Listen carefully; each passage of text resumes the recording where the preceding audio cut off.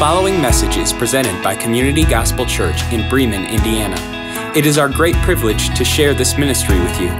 We in no way intend for this to be a replacement for the local church. It is our prayer that this would serve as a resource to help make Jesus Christ known in our congregation and other congregations gathering across the world. For more information about Community Gospel Church, visit www.communitygospelchurch.com.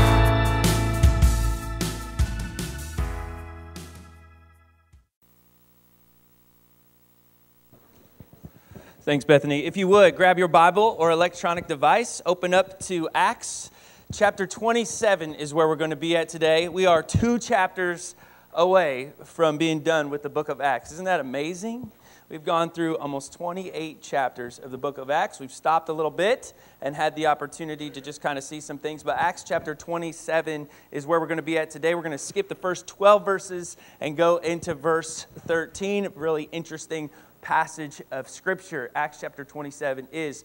Um, I preach out of the ESV version of the Bible, and if you have a New Living Translation, say, version of the Bible, uh, it's going to be a little bit different wording wise. We also found out this morning uh, that our Pew Bibles are the NIV Bibles from like the 80s. And so if you have, uh, which a lot of good things happened in the 80s, specifically one thing in 1982, but. Um, but and uh, Sarah was born then, absolutely. Um, but uh, the NIV was revised in uh, 2011, so there might be some different wording there too as well. Okay, so Acts chapter 27. Uh, I don't know about you, but when I first came to know Jesus, I thought life would be kind of like a carnival cruise. Amen. Like I thought we were going to have a lot of good times and things were going to be okay. And I was sitting here next to Becky, and then uh, the more I walked with Jesus, the more I started to realize that walking with Jesus is kind of like a free ticket to the Titanic. Amen? And then uh, the more I realized that Jesus wants to walk with me, it's kind of like living in an endless season of lost. Uh, I just don't know what's going on or who the main characters are supposed to be. I just get a little bit frustrated. You ever been there with Jesus where you look at him and you're like, hey, can you kind of enlighten me to some of the things that you're doing in my life? Because that would be more beneficial than me just walking and wandering around. Amen? All right, so we're in the same page today. Anyway, uh, suffering and difficulties are a part of life. You know, Becky sits up here and uh, she gave an update on just her condition and where she's at. And we shouldn't be surprised about these things, right? We, we shouldn't be surprised when Satan wants to put his talons in our lives and kind of frustrate things a little bit. It shouldn't shock us a whole lot. See, in Acts chapter 27, we realize that our friend the Apostle Paul is present. And what we've seen from Paul is that Jesus has just radically transformed his life. If you uh, were to read Paul's letters that he gave to the church, specifically one to the Corinthians, the second letter to the Corinthians, he says that he received 39 lashes from his fellow brothers and sisters over five times. It also says in that passage that he was multiple, uh, uh, multiple times he was beaten with rods. He was stoned and left for dead, shipwrecked, in constant danger, sleepless nights. And if you uh, want to think about this on a new level, it is that he uh, also had the pressure to keep the church moving in the proper direction. You know, I think sometimes we think that we have it bad, but we forget just how hard it was to start something like this church or the church in general, or just continue on in a relationship with Jesus. But if we were to bring Paul up and we were to sit him down, he would look at us and he would say, Listen, it is always worth it. It's always worth it. In a relationship with Jesus, it's always worth going through the times of trial and the times of tribulation. He would say, I learned more about God in the seasons of distress than I ever did in the seasons when things were okay. And that's what Paul's kind of main message to us is, is that I don't want you to be mediocre. I want you to be great for the kingdom of God, but that's got to come through some pain. It's got to come through some trials and some tribulations. So, how did we get here in Acts 27? And if it's like your first Sunday, you're like, did I miss the first 26? Am I completely lost? Don't worry, we'll catch you up real fast, all right? Paul is this guy who essentially used to persecute the church, and now he populates the church. He got saved, uh, and what I mean by saved is he confessed with his mouth that he was a sinner, and believed Jesus was his Savior on the road to Damascus because Jesus confronted him and he says, Paul, why are you persecuting me? And he says, You're Jesus. And he says, That's right. He says, I don't know. I don't have really a good idea. I didn't think that you were going to come and visit me, but you did. Jesus always comes to us in weird ways, doesn't he? He always shows up at my door at times when I don't really want him the most. It's kind of like the UPS guy, right? I just got up and he's at my door. He wants to give me a package, and I'm like, I don't have time for this, right? Just leave it at the door. But he's like, No, I got to hand this off to you. And see, Paul realizes that when Jesus shows up, he does something massive.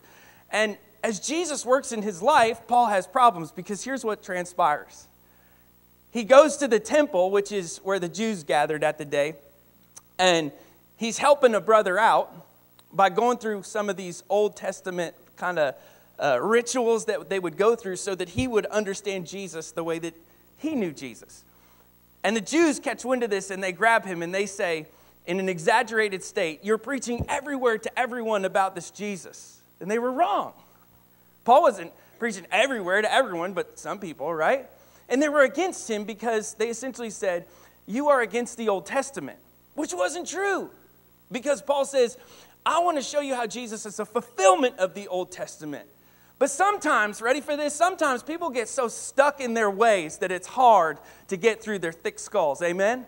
It's like teaching an old dog some new tricks. I have a little puppy and I can teach him anything. Well, kind of. He's a basset hound. He doesn't learn real well. but the older we get, the harder it is to learn something new. Amen? If you think that change is easy, Here's the deal. When you go home today, I want you, when you sit down for dinner, to sit at somebody else's place at the table. And you'll learn real quick how hard it is for people to change. And Paul knew that, so he's trying to help a brother out. And the Jews got really angry with him, they were mad at him.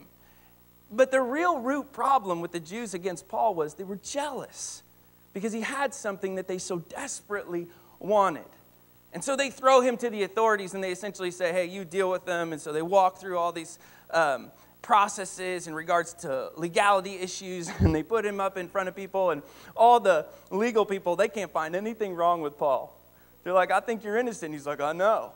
And the whole time he just keeps telling people about Jesus, which makes them even more mad.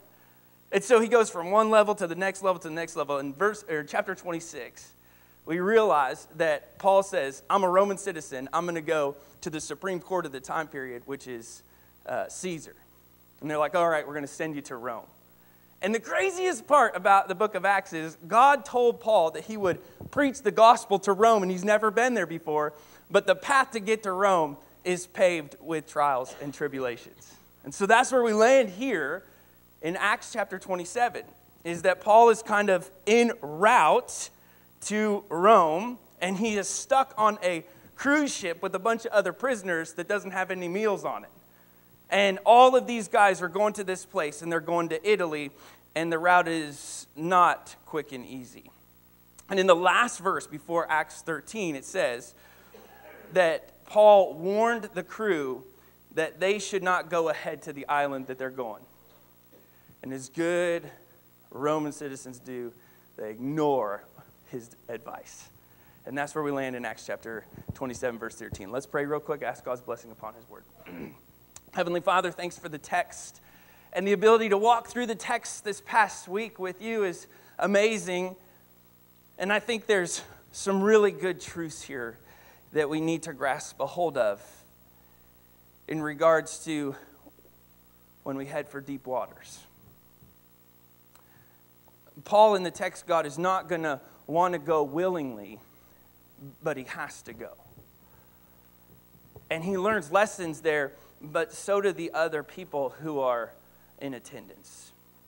And so, God, put us on the boat today. Help us to learn here from this text on how trials and tribulations help formulate who we need to be, not necessarily who we want to be. And help us to gain truths from this text that we don't just put inside of ourselves to puff up ourselves so that we would have this knowledge so that we have it, but so that we would go and share it.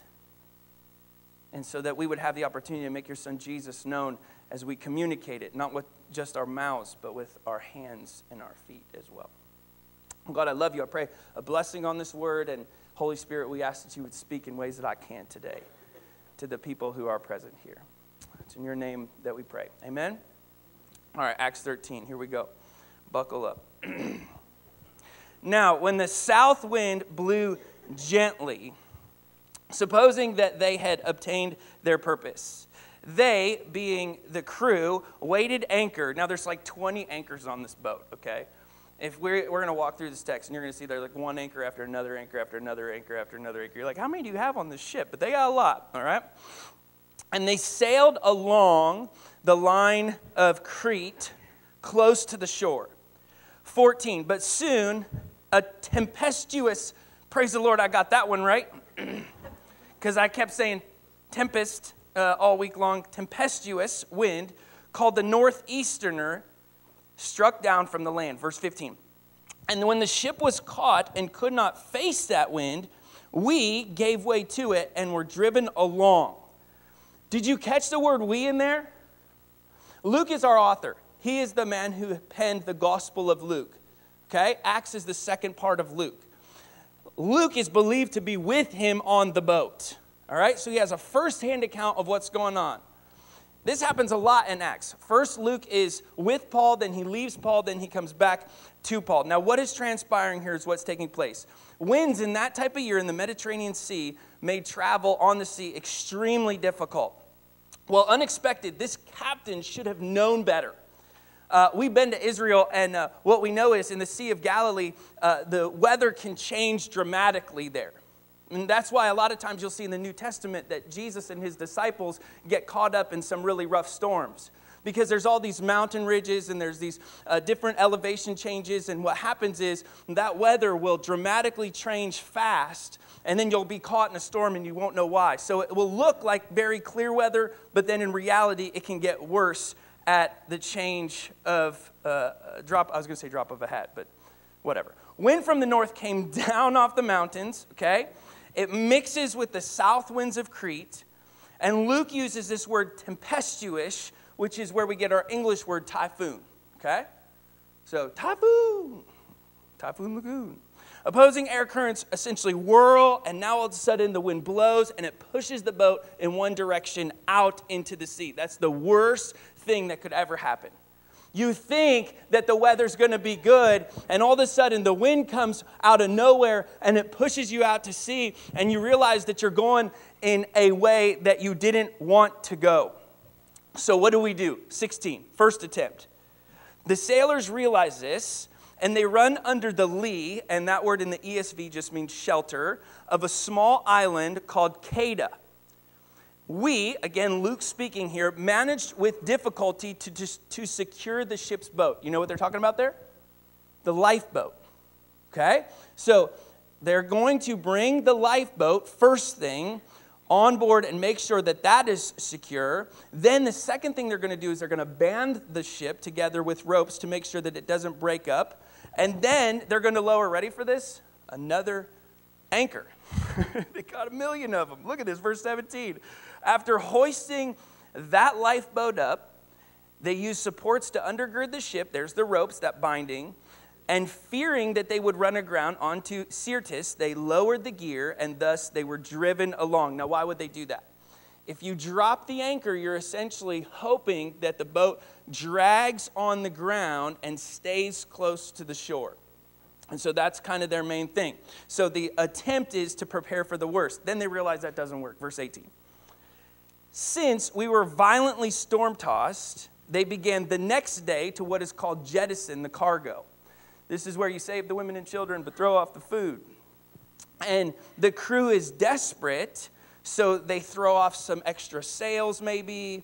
They throw off some yards, maybe. And in absolute desperation, we realize here in the text, uh, on the third day, they threw the tackle overboard with their own hands. To make matters worse, keep walking in the text. Verse 20 When neither the sun nor stars appeared for many days, there was no small tempest or no small storm that lay upon us. All hope was being lost. Your navigational system goes out.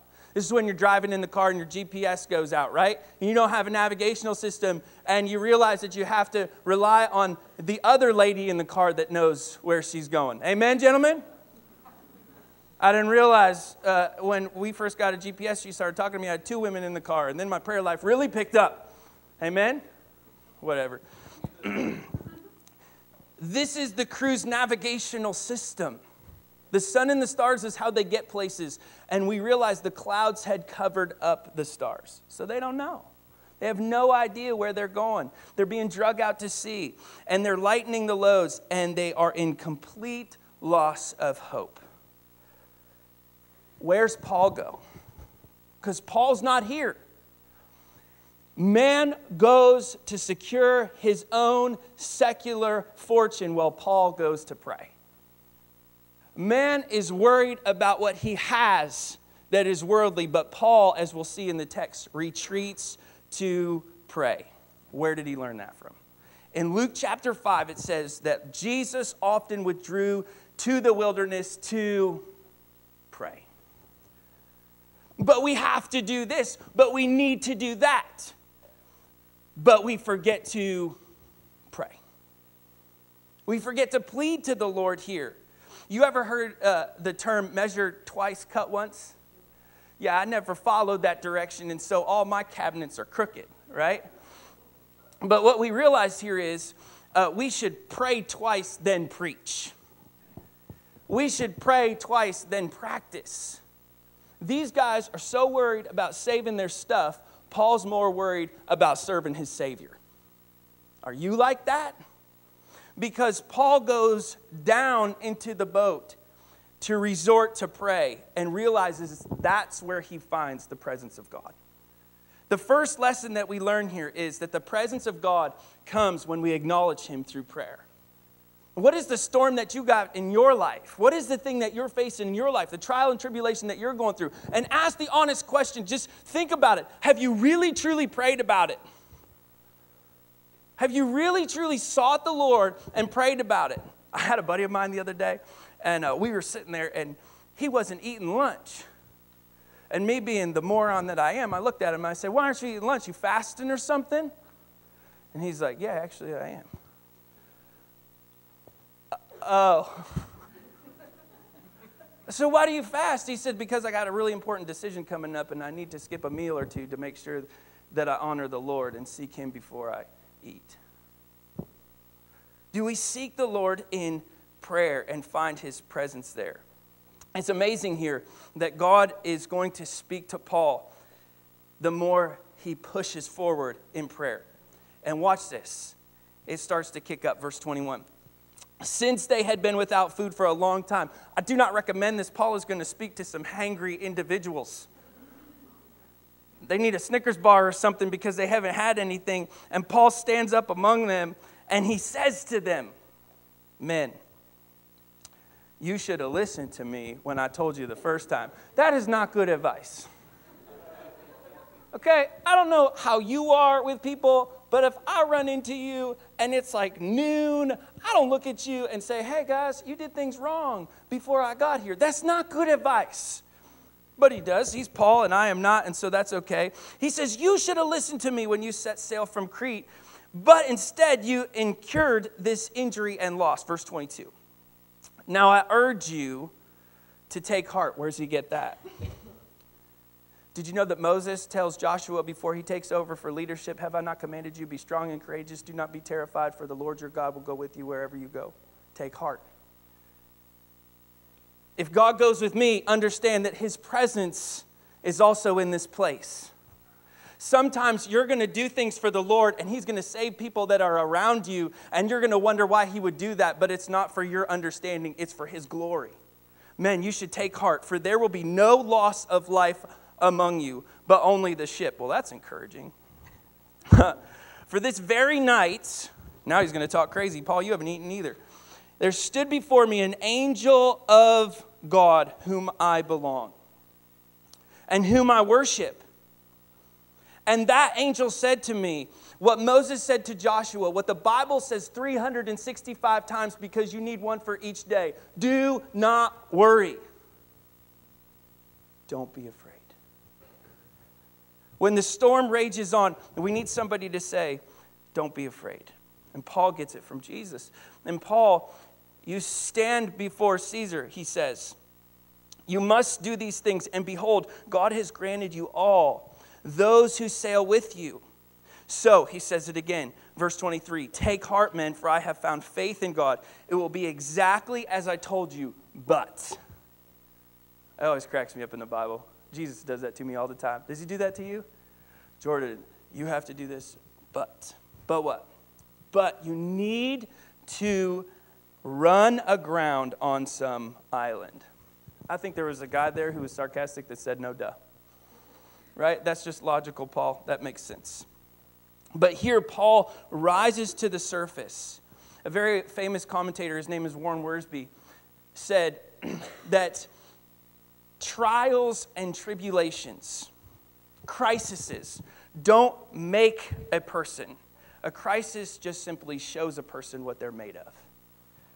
And here we realize that that tends to bring true leadership to the forefront. Paul, when he is faced with a problem, his leadership just continues to increase. I love what Bruce Lee said. He said, Don't pray for an easy life, pray for the strength to endure a difficult one. I don't think Bruce Lee knew Jesus, but he was close in that quote. We shouldn't, as believers, pray that our lives are easy. We should pray for difficult lives that reveal our true leadership, where we're at, where we need to go, and where God is working. When you've been with God, you lead according to His word. But the only prerequisite to proclaim salvation is that you know Him as Lord and Savior. And oftentimes, listen to me, church, you're not preaching into your storm because you think you don't have the qualifications. I don't have a seminary degree. I don't have all the Bible knowledge that you have, Pastor Jordan, or maybe some mentor that you have in your life. But you have the Word of God in front of you. You have more resources available to you. And you can preach into the storm the second that you know Jesus Christ as your Lord and Savior. You you don't have to wait. Sometimes the only thing that you need to preach into a storm is, I know Jesus, and that's enough. So you got to look at your storm and say, listen, I know the Lord, and that's the start. He's going to work in and through this situation and this circumstance. As the psalmist says in Psalm chapter 51, verse 15, unseal my lips, Lord, that my mouth will praise you. Sometimes we just have to tell Jesus, thanks for putting this difficult thing in my life, even though it's causing me a massive amount of pain. And here, Paul is essentially preaching at the storm. And what's happening is he is truly, truly encouraging the people. When you preach to your storm, you encourage somebody else who has a different storm. When you start preaching about what's going on in your life, you understand that you're helping somebody else out. So we have to get to the point to proclaim God's word into the storms that manifest themselves into our life. That's why we read our Bible every single morning. That's why we pick it up. I'm going to give you some resources later on in the sermon, so just hang on for a second. But look at this. At least three times, God gave Paul an encouragement to be a message so that he would put other people's minds at ease. He spent time with God in prayer and he knew that God saw the trouble and held the future. 1 Peter chapter 3 verse 4 Praise be to the God in his great mercy. He has given us new birth into a living hope through the resurrection of Jesus from the dead into an inheritance that can never spoil or fade. The inheritance is kept for you in heaven. So here's like the real kicker of the story we head to deep waters, first of all, because it helps us identify really what's in focus, and that's the finish line. Every trial and tribulation that you face helps you focus a little bit on the fact that this world is not my home, I'm just passing through. It's just to be temporary. It's just to last for a little moment. Is it to be painful? Absolutely. But you got to focus on the finish line that this world is not our home. In 2 Corinthians, Paul continues, he says, For our light and momentary troubles are achieving for us an eternal glory that outweighs all of them. So, here's the push fix your eyes on Jesus. Fix your eyes on not what is seen, but is what is unseen, that which is eternal. Storms cannot shipwreck you unless you let them shipwreck you. Trials and tribulations cannot sideline you unless you let them sideline you. Some of the reason that you have anxiety over an issue is because you're focused on that which is present instead of that which is eternal. Sometimes the reason that we're so worried is because we're thinking about tomorrow instead of thinking about eternity. See, I got to focus on the finish line that He is doing a great work in me. Verse 27.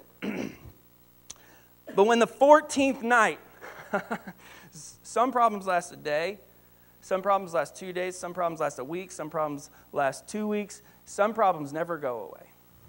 Do you know Paul prayed pretty much his whole life that God would remove the thorn that was in his side? I think it was a person. And God does, He doesn't remove it. Some things you will go through for your whole life. So encouraging today I am. As we're being driven across the Adriatic Sea, about midnight, now here's what we would do, right? Come on, jump in this boat, church. Here's what we would do. At midnight, we're going to essentially bring some people in, and the sailors suspected that they were kneeling land. So they get up. They're like, hey, you want to go up? You want to go upstairs? You want to escape? Yeah, I want to escape. You want to escape? Yeah, me too. Okay, let's go. So here's what they do. So they took a surrounding and found 20 fathoms. What in the world is a fathom? Here's what a fathom is. Ready from this? Ready for this? is from the tip of your finger to the other tip of your finger when you spread your arms apart. And why would they do that? Because they didn't have tape measures back then, church, okay? So it's about five to six feet, depending on how tall you are. And they would have uh, said that a fathom is essentially uh, the length of a fully grown man. So they didn't do that with children or anybody else who are short. And if you're short, I'm sorry. 29. Fearing that we might run along the, uh, the rocks, they let down what? Another four anchors. Where are you getting all this weight? Here's what you need to throw off the boat is the anchors and the stems. And they prayed for the day to come. In other words, they waited for it to become morning. Verse 30. And the sailors were seeking to escape from the ship. I want to go. Yeah, I want to go. Let's go. Okay, let's go. And they lowered the ship's boat into the sea under the pretense of laying the anchors from the bow. Try not to be loud. Okay, I'm trying not to be loud. These anchors are really heavy. I know. I'm sorry. Why don't you throw them overboard? You throw them overboard. Shh, Dad's going to be so mad. 31. Paul said to the centurion and the soldiers, Unless these men stay in the ship, you cannot be saved. There's always, always, always some Bible beaten believer that is awake in the middle of the night. You ever been on a youth trip? You know what I'm talking about? It never fails. Those of you who grew up in church, we knew this, right? You want to go outside for a while? Yeah, I want to go outside for a while. Hey, what are you kids doing? What are you doing, Bob? Reading your Bible or something? Go to bed. Man, I always never knew when those guys slept. Okay, anyway, sidetracked. Paul said, verse 31 to the centurion and the soldiers, Unless these men stay in the ship, you cannot be saved. I can't believe he's awake. What is he doing? He's praying. No kidding. We just said that. 32. Then the soldiers cut away the ropes of the ship's boat, the lifeboat. Okay? And then what happened is it went or it left and they let it go. So here's what transpires and here's what happens here in the text, okay? They got caught. Paul essentially gave a command. The centurion, because remember, if you're a Roman soldier, you have authority over these individuals, and he listens to what Paul says because now Paul is starting to gain some credibility in the world, and he says, Listen, we should listen to this guy. And they cut the lifeboat off and they let it go. Now the whole crew, ready for this, is underneath the authority of Paul. The secular society has lost all of their leadership credentials, and now Paul has taken control of the ship. You can lead from the bottom, you do not have to be placed at the top. You think so often that you, just because you work a line of a factory, means that you have no leadership authority. Sometimes the guy who's the most silent in the room has the most leadership influence. It's the way it works.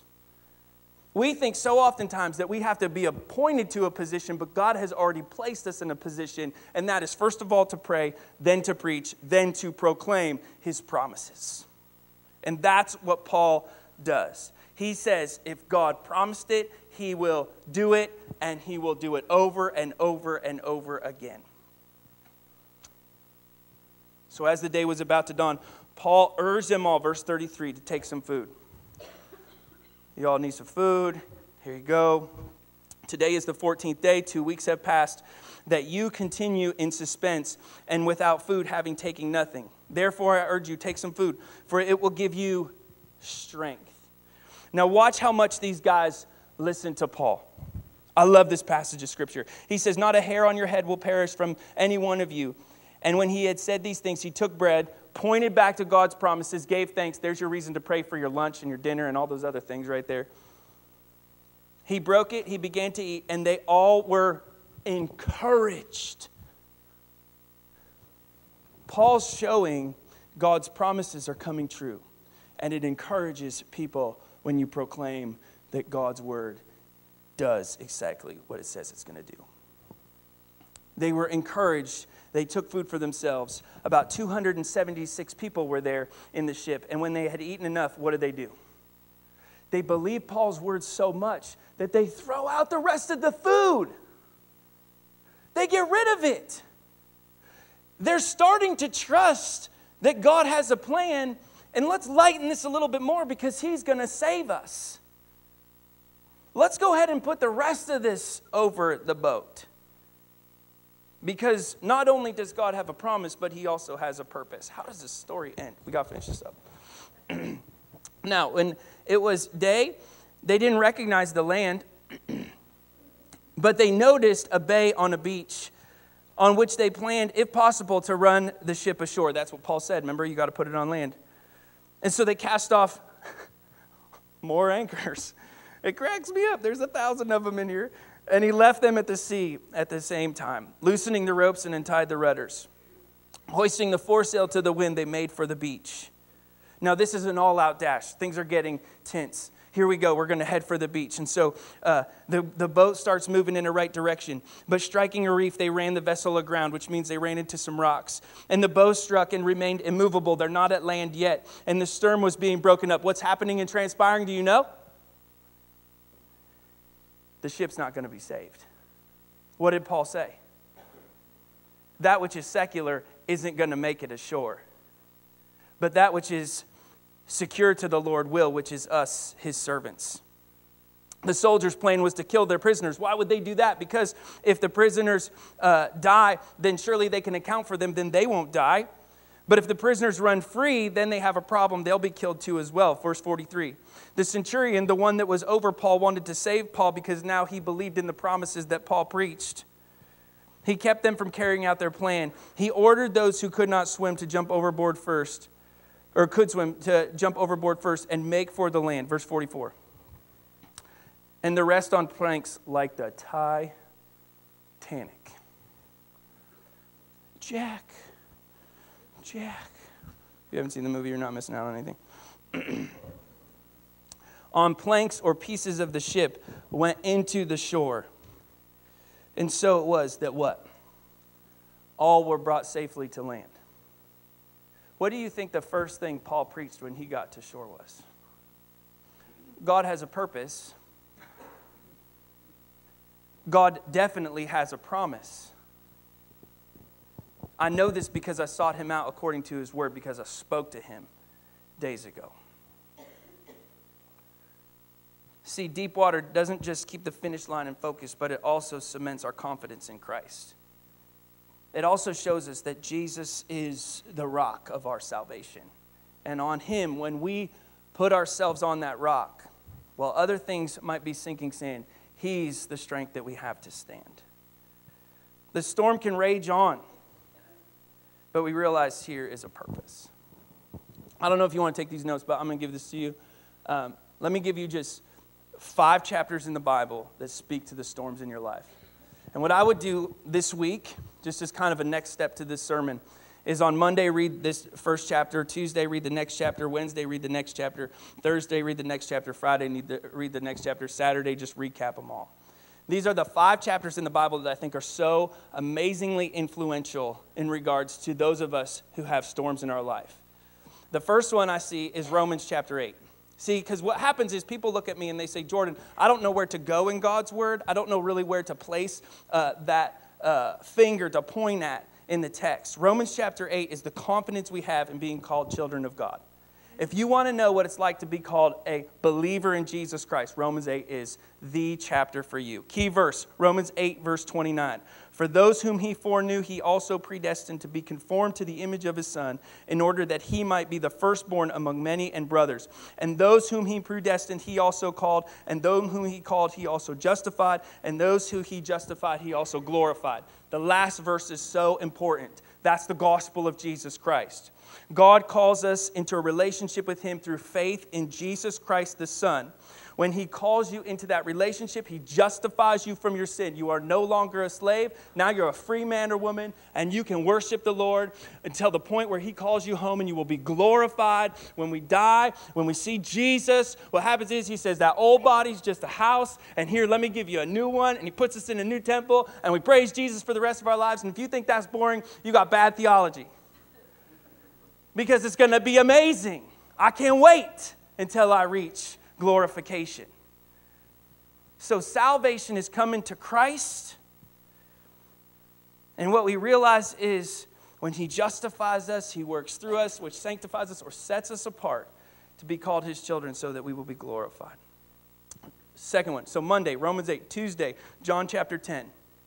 John chapter 10 is the confidence we have in Jesus being our shepherd, that His ways are better than your ways. For this reason, in John chapter 10, verse 17, it says, This is why Jesus loves us. He laid down his life so that he may take it up again. He has the authority to lay it down and the authority to take it up again. This is a charge that I received from my Father. And what that verse is essentially saying is ready for this? What God chooses to do is what God chooses to do, and it is for your good, whether you like it or not. You've got to accept it. Doesn't make sense all the time, and here is the best part, I think, about being a believer. You ready for this? Jesus lets me question. Jesus lets me ask questions because Jesus asks questions. Jesus in the garden, he says, God, why does this have to happen to me? If there's any way that you could remove this cup, that'd be great. But he says, I can have confidence in the fact that God knows what he's doing. Monday, Romans 8. Tuesday, John 10. Wednesday, 1 John chapter 3 the confidence that you have in keeping the faith, that it's worth it. Whoever does not practice righteousness is not of God, nor is the one who does not love his brother. Two greatest commandments. You should love the Lord God with all your heart, soul, mind, and strength. You should love your neighbor as yourself. Who's my neighbor? Anyone who has a need in, in which I am able to meet. Who is my God? The one who sent Jesus Christ as a salvation, not a condemnation. Okay? Friday, or Thursday, Ephesians chapter 7. Love this chapter in the Bible. The confidence we have when called to help others. If Jesus encourages us, ready for this? You should be encouraging somebody else. In the storms and trials and tribulations in your life, whether that's cancer, whether that's uh, hardships with your job, marriage problems, raising kids problems, whatever is going on. Ephesians chapter 7 just screams at the fact that you can have confidence in being encouraged in your relationship with Christ while encouraging others. Last one, Friday. Psalm chapter uh, 103. The confidence that we have in knowing that God loves us.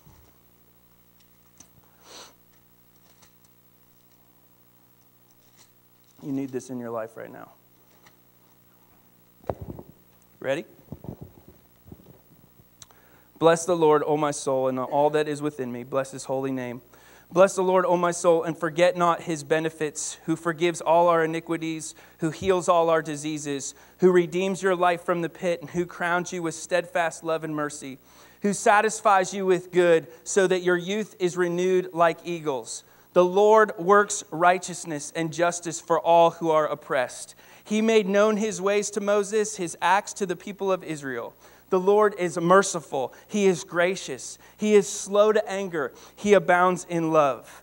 He will not always chill, nor will he keep his anger forever. He does not deal with us according to our sins. For do not repay us according to our iniquities. For as high as the heavens are above the earth, so great is his steadfast love towards those who fear him. As far as the east is to the west, so does he remove our transgressions from us. As a further show of compassion to his children, the Lord shows compassion to those who fear him. For he knows our future, he remembers that we're dust. As man, his days are like grass. He flourishes like the flowers of the field, for the wind passes over it, and then it is gone. And its place knows it no more. But steadfast is the love of the Lord from everlasting to everlasting to everlasting to everlasting to everlasting. It's an infinite love for those who fear him and his righteousness to children's children, to those who keep his covenant and remember to do his commandments. The Lord has established his throne in the heavens, and his kingdom rules over it all. Bless the Lord, O you his angels, you mighty ones who do his word. Obey his voice and obey his word. Bless the Lord, all the hosts, his ministers, those of you who do his will. Bless the Lord, all his works, and all places of his dominion. Bless the Lord, oh my soul. Let's pray. Dear Jesus, we thank you and we praise you for being the King of Kings and the Lord of Lords. We sing out hallelujah and we call out to you in times of distress. And we can say, because we have a relationship with you, great is the Lord, who is worthy to receive honor who is worthy because he is powerful. And if you find yourself here in this sanctuary this morning, or if you're listening online, however you got to this place, and you do not have a relationship with God because you've never placed your faith and trust in Him through faith, today is that day. The purpose of community gospel is to make Jesus Christ known both near and far. And the way in which you come to know Christ is you confess that you're a sinner, you missed the standard, you did something that totally marred the image of who you are with your great God, the Creator. And you say, I know I'm a sinner, I realize I'm a sinner, and I need a Savior, I need somebody else. If you confess with your mouth that you're a sinner and believe in your heart that Jesus Christ is your Savior, the Bible says that you will be saved. Do not make it more complicated than it has to be. Paul will write a letter to the Ephesians and he will say to them, It is by grace, God's grace, that you have been saved through faith, not of works, lest any man should boast. So we place our faith and trust in Christ. If that's you today, you don't have a relationship with God, you simply say, God, I do need you. I believe I'm a sinner and I want a relationship with your son, Jesus. And I know so many of you who are gathered here today know Jesus Christ as Lord and Savior. I know you've made the best decision ever. And I don't know all the storms that are going on in your life. But I know the start of speaking into the storms is speaking to the ones who know those storms exist. And it starts with just humbly saying, God, I need you. I need your help. I need you to come into work. I need you to show me in your word how I can speak back to this storm so that my worries go away. I need to relinquish control today, God, back to you to realize you're moving in my life.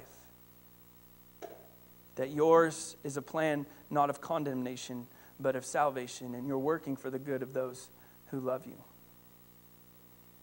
And God, help me to rest on your promises and your purposes, for they're better than my own.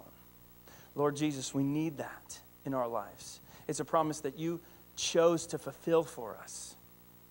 To point us back to the fact that your word never fails, that your plans always prosper.